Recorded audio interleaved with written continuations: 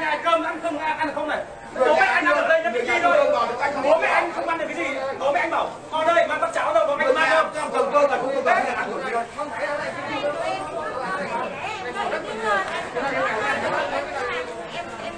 đâu phải tù đâu tôi đâu phải tù đâu mà tôi tôi thích tôi dọn ra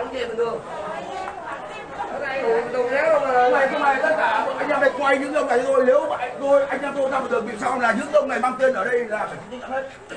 Không được phép cái gì cả cá nhân chúng tôi. Tôi yêu cầu các anh im lặng ở đây mọi người ai cũng như ai không? Nha những anh này nhá tự dưng là cái quay người dân nha các anh mặc quần áo công an chúng tôi mới phải phải quay các anh. Chúng tôi được phép giám sát các anh nhưng các anh không được phép quay chúng tôi. Cứ khu nào việc của đó đi. Đấy đấy. Đấy em có để cái cơm để cho quay cho mọi người lên xem cái cơm này bọn em ăn đấy con em mà em ăn được đấy ăn được không ăn được ăn rồi số nó ăn không còn bắt người ăn.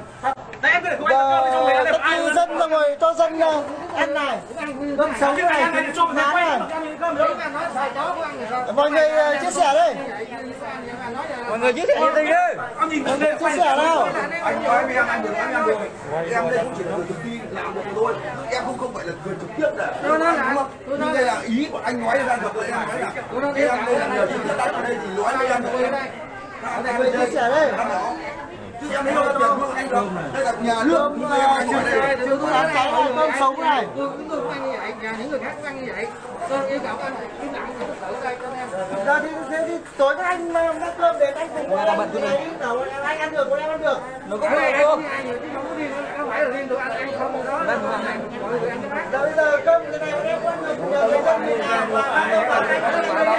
người dân thì thôi nhưng người em ta dân góp ý em thu chia sẻ đấy. Bọn em ăn được mà em được. Em nhìn lại xem đi. Cũng là con người Việt Nam với nhau.